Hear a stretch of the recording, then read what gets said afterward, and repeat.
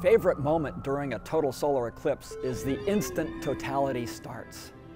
The sun becomes a black disk in the sky surrounded by a glowing halo of light, the solar corona.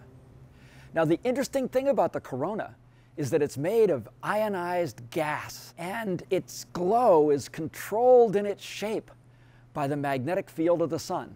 The sun is a magnet. The sun also spits out charged particles that travel all the way to the Earth as the solar wind.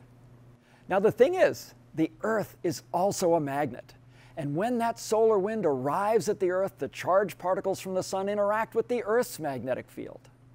The Earth's magnetic field was really studied in 1600 by William Gilbert in England. And what he did was he made a small magnetic model of the Earth. He called it a terrella. I'm going to make one by taking a neodymium magnet and putting it inside a foam model of the Earth. Then what William Gilbert did was he sprinkled iron filings onto that Earth globe.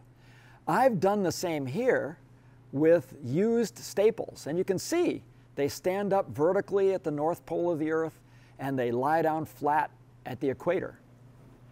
Now, the sun's solar wind interacts with the Earth's magnetic field and creates the aurora around the poles of the Earth, the glowing aurora.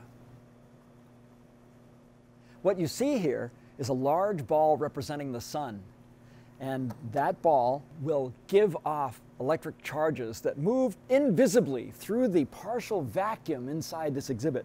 As those charges come towards the Earth globe over here, that is a magnet, they're directed to the north and south polar regions where they make a glowing oval called the auroral oval.